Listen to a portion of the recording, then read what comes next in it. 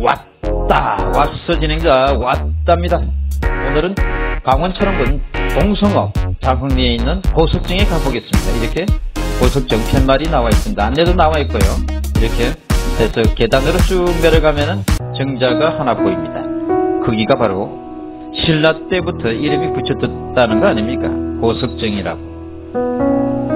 아, 그 이름이 그대로 지금도 전해지고 있습니다. 1대1 전체를 고석정이라고 합니다. 고석정에 가면 국민 관광지로서 아, 여러 가지 트레킹뿐만 아니라 고석정 랜드도 준비가 되어 있습니다. 정자를 왼편으로 쳐다보면 이렇게 유람선을 탈 수 있는 준비가 되어 있습니다. 그런데 비가 안 와서 물이 없습니다.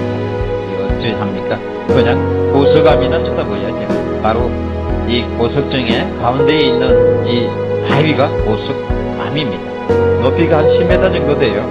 그 위에 나무들이 있는데 저것이 뭐 세월이 흘러서 저렇게 했겠지만 옛날에는 아마 울창했겠죠. 저기에 조선시대의 그 유명한 도적배죠. 임꺽정이 임꺽정이 여기에서 기거를 했다는 거 아닙니까? 그런 이야기가 있습니다. 어쨌거나 내가 보지는 않았기 때문에 어, 믿거나 말거나 이지만은 저 밑으로 고속감을 저 뒤로 하고 저 아래쪽으로 쳐다보면은 트레킹 고속뿐만 아니라 유람선도 다닙니다.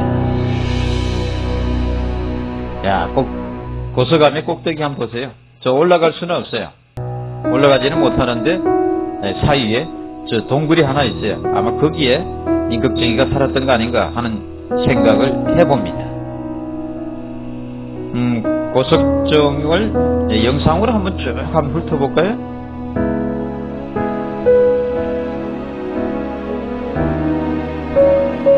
자, 저 밑으로 보이죠? 밑으로 쭉 내려가면은 유람선을 타고 갈 때는 저기는 아, 양쪽 사이드에 아름다운 바위들의 이름을 쭉 붙여놓은 게 있는데 그것을 일일이 보여드릴 수가 없어서 정말 아쉽습니다.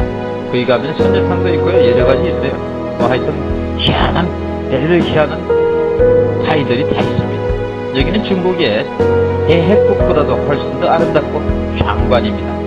중국의 대해국은 깊이만 있지 사실 양 사이드로 그냥 트레킹 코스밖에 없었던 걸로 기억이 되는데요.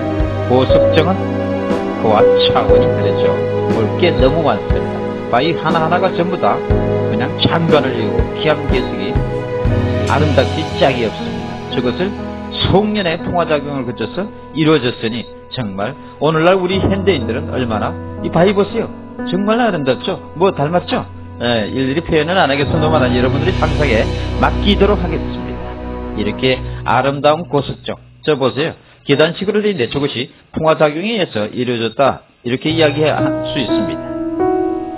아름답죠? 크지 않지만 그래도 굉장히 기암괴석과 나무와 잘 어우러진 바위입니다. 아마 여기 물살이 세기 때문에 이렇게 기암괴석들과 바위의 모습들이 희귀하게 네, 보이는 거 아닌가 이런 자연의 작품입니다. 우리 인간이 만들어낸 것이 아니라 인간이 만들려 그러면 이렇게 힘든 작품을 만들어내기가 굉장히 힘들죠. 세월이 신이 만들어내는 것입니다. 하루 이틀 만에 만들어지는 것이 아니라 수년의 통화작용을 거쳐서 이렇게 만들어질 수 있습니다. 고석정을 지금 고석정의 고석암을 네, 근접해서 한번 촬영을 해서 봅니다. 자 저렇게 해서 쭉 내려가면 트레킹 할 수 있습니다. 여기는 어디냐? 국민관광단지입니다. 네, 고석정 랜드가 있고요. 그렇게 해서 트레킹하면서 유람선도 탈 수가 있습니다. 그렇게 비싸지 않습니다.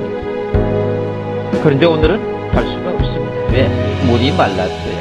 아우, 참. 정말 아쉽네, 아쉬워.